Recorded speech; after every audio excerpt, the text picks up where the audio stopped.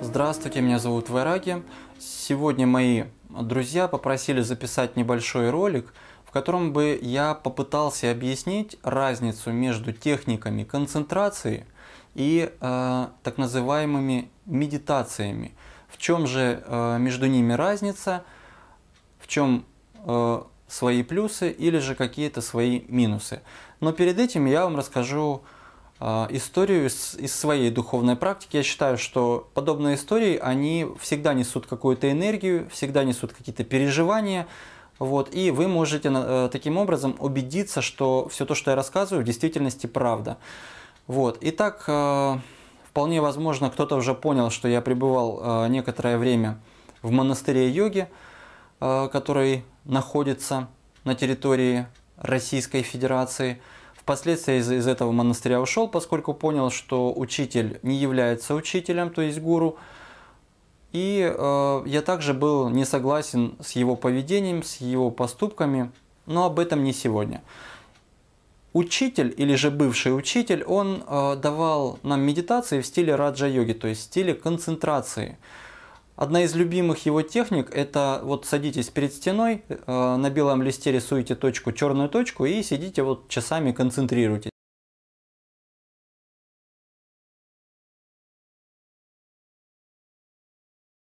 Напрягаете свой ум. Э, доходило до того, что многие из нас, э, из монахов, из монахинь просто болели. Болели в силу того, что каждый из нас сталкивался с так называемой болезнью дзен. Болезнь дзен, кто знаком с техниками дзен-буддизма, вот, они знают, что эта практика, она связана с неправильным распределением энергии в теле. Точно так же годика два, наверное, первые года два пребывая в монастыре, я также болел. У меня частенько хватало и печень, и отказывало какие-то пищеварения. Вот, хотелось очень много спать, ноги были э, ватными, но при этом был очень ясный ум, и ум мог концентрироваться очень долго, то есть удерживать какую-то точку. Сразу скажу от себя, э, техники концентрации очень интересные. Э, то есть они, в принципе, не задействуют никаким образом энергию, и, ну, как бы это, скажем так, это полет птицы на одном крыле. А, и вот э, спустя два года я начал, э, когда я уже понял, что я вот и тут у меня какие-то болезни, тут у меня с печенью проблемы, тут у меня медитация не идет, тут я концентрируюсь, концентрируюсь, у меня медита медитация не начинается. И вот в какой-то момент я дошел до состояния ступора. Вот. И в этом состоянии ступора, сидя в медитации, э, я понял, что, ну блин, я настолько безнадежен, бесполезен, туп – и там было очень много эпитетов, вот, что я в какой-то момент сказал, ну блин, не можешь ты ничего делать, ну вот не делай ничего. Просто расслабься. Ну вот, вот такой я, вот не получается у меня и все. То есть не идет у меня техника концентрации. Не могу я долго удерживать какую-то мысль. Не могу я долго концентрироваться на, на э, Махаваке, там, Ахаз, Ахам Брахмасме или Сарваева Брахман. Не могу. И в таких расстроенных чувствах я просто расслабился. Расслабился и в какой-то момент, то есть я отпустил все, я понял, что ну не идет и не идет, ну с катертью дорога. И расслабившись, э, в следующее мгновение меня просто вытолкнуло из тела. Скажем так, либо некая сила, я не могу сейчас сказать, что это было, но некая сила меня просто вытолкнула из тела, причем через правую сторону. Вот, и выйдя из тела э, на расстояние в 3-4 метра, я увидел свою физическую оболочку.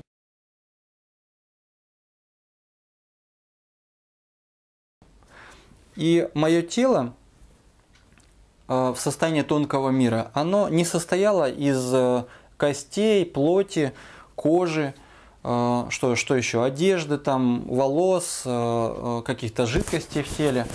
Вот. Оно из этого не состояло. Оно и состояло именно так, как описано в священных писаниях, из каналов, по которым текла энергия.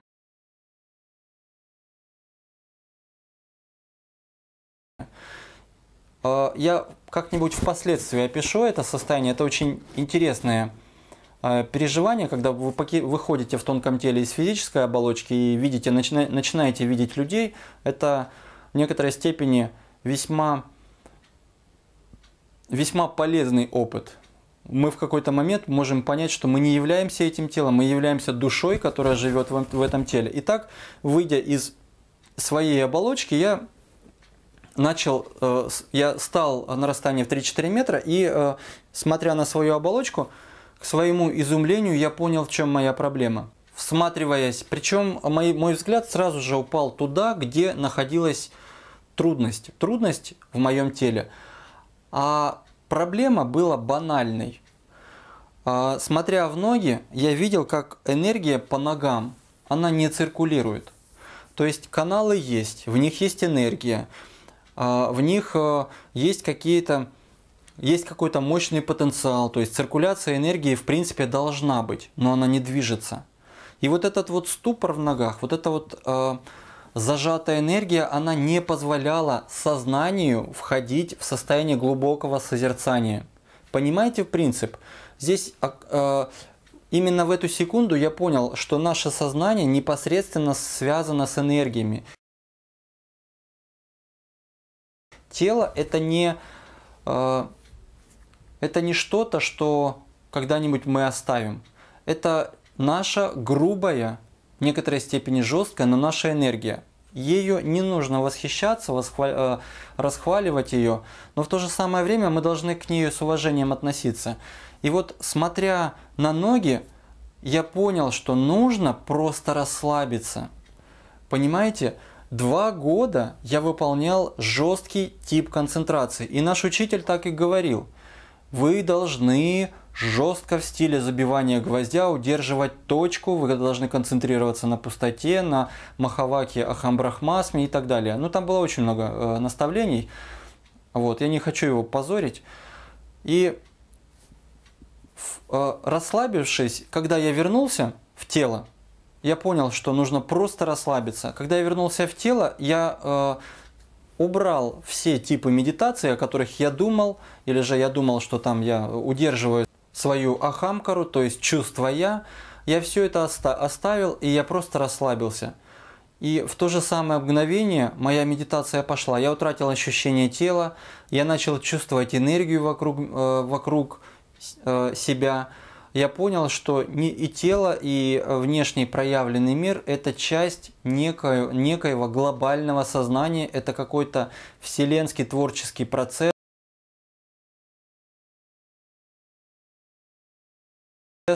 Это необыкновенная мистическая тайна. В тот самый момент я э, осознал и почувствовал так же, как мои Э, энергии в, в ногах начали циркулировать. К чему я это рассказываю? В техниках концентрации мы пользуемся только нашим умом. Не задействуются ни энергии тела, не задействуются э, внешние проявленные энергии, не задействуется ничего. Мы шлифуем изо дня в день только уровень концентрации. И в, результате получается, ну, если не болезнь дзен, то лишь э, какие-то неглубокие уровни переживаний. А, какие-то неглубокие тхьяны, вот если знакомы с раджа-йогой. А э, в медитации происходит все наоборот. В медитации мы всегда должны удерживать правильную позу, если это сидячая поза, и пребывать в состоянии созерцания – я вам для, для сравнения скажу, вот у всех у нас есть дома телевизор. Когда мы смотрим телевизор, мы ведь не напрягаемся, правильно? Мы не напрягаемся для того, чтобы смотреть новости, не напрягаемся для того, чтобы смотреть мультфильмы какие-то там. Вот. Э, мы совершенно расслаблены, но наше сознание очень плотно и четко удерживает необходимую нам идею, э, образ, ход событий и так далее. То есть вот это вот состояние, когда мы, во-первых, мы расслаблены, во-вторых, мы удерживаем. Вот точно так же мы должны ощущать себя и в медитации. Если эта медитация связана с медитацией на свет, то мы просто, сидя внутри себя или вовне себя, созерцаем свет, как мир состоит из света. Если эта медитация связана с, со светом в чакрах, то таким же самым образом мы просто созерцаем. Мы не концентрируемся ни в коем случае, мы просто на него с удовольствием смотрим. а, мягко, без напряжения, без суеты, без даже если приходят какие-то мысли, мы должны понимать, что мысли это так э, это также наша э, также наша энергия, которая проявляется вот в таком вот облике. С одной стороны, мы, за ней, мы с ними не боремся ни в коем случае, с другой стороны, мы за этими мыслями не следуем.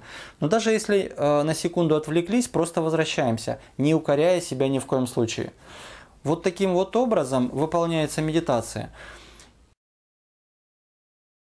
То есть основа медитации – это внутренняя гармония и вот это вот пристальное восприятие, когда мы просто удерживаем мысленный взгляд или э, зрительный э, э, или взгляд с помощью глаз на каком-то об объекте. То есть это может быть свет, это может быть энергия в теле, это может быть э, раскручивающийся какой-то свет в чакре. Ну вот в целом э, я попытался разграничить несколько пониманий того и другого – вот. Сразу скажу, что техники концентрации, они проблематичные э, от начала и до конца.